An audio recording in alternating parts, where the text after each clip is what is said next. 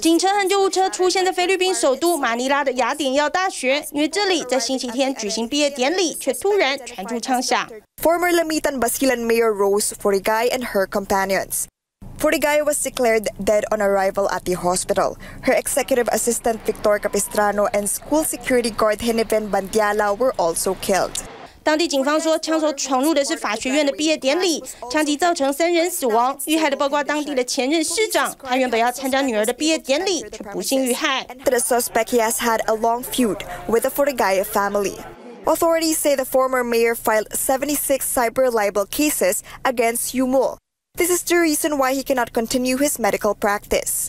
原来枪手和遇刺的前市长以前就有过节，枪手犯案后一度还开车逃逸，结果在大学保全和警察联手拦阻下遭到逮捕。他供称是不满氟里盖才下手。Recovered from the suspect were one caliber .45 pistol with a silencer.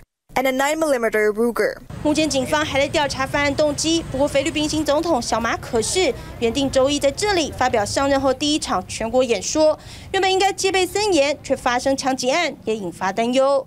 TVBS 新闻综合报道。想扩大国际视野，掌握趋势，请订阅专门报道国际新闻的 YouTube 频道 TVBS 国际 Plus，记得要开启小铃铛哦。